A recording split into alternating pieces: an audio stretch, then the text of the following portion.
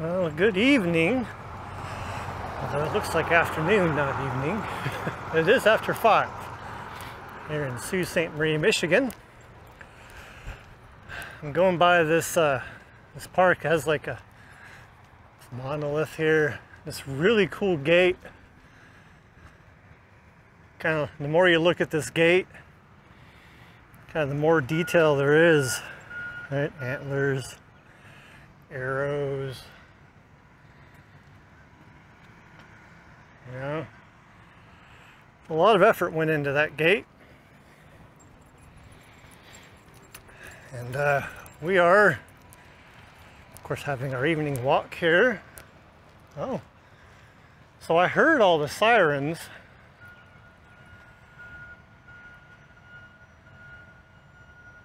And over there, hopefully no one's hurt.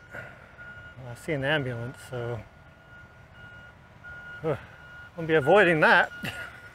we just kind of luckily went this this way. Oh, I see like a scooter. Oh no. Uh, oh, there's a dog here on the leash, but yeah. You might see in the background there is a ship. A saltwater vessel with a cool name. So I want to get up here just a little bit further to get past these uh, these trees here and kind of zoom in a little bit and take a peek.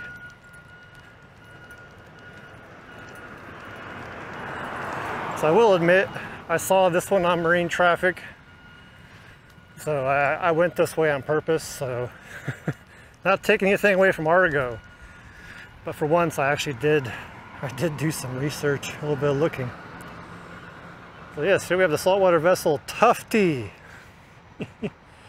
Tufty. Such an interesting name. When I first saw marine traffic, I was like, is that name Tuffy? But no, there's a T in there, so Tufty. Uh, you see they're running empty. You can tell by how high she's riding.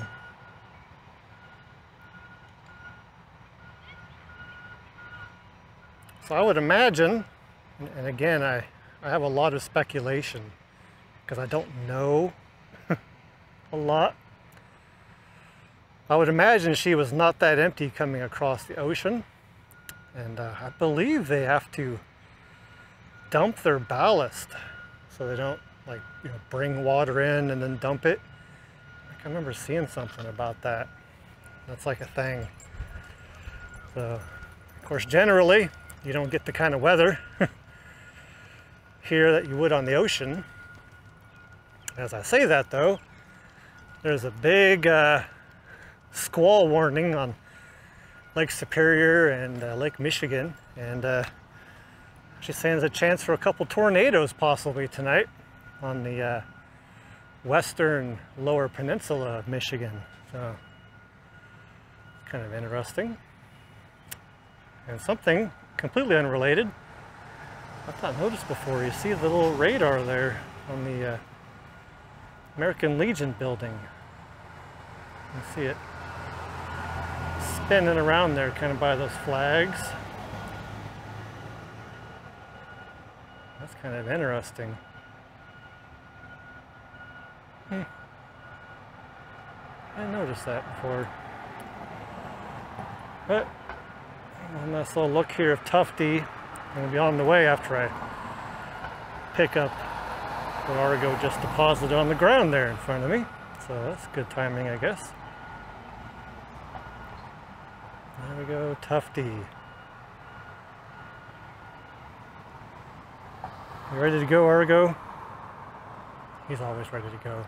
So we're gonna head that way towards the valley camp and make a circle around, avoiding that accident back there. So, ooh, hope you're having a great day.